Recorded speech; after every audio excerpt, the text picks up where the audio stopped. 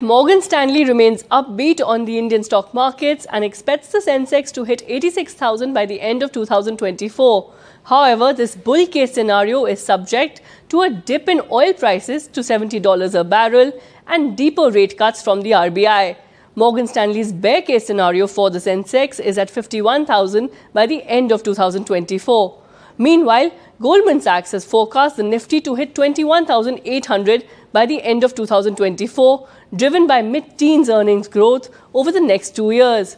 However, they believe repeated supply-side shocks could mean inflation will remain above RBI's 4% target, and that really remains a key risk.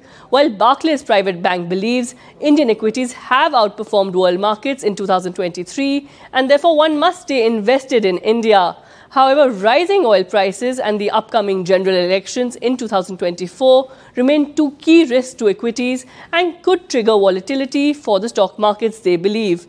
Analysts, however, feel geopolitical developments and central bank policies may also impact investor sentiment going forward.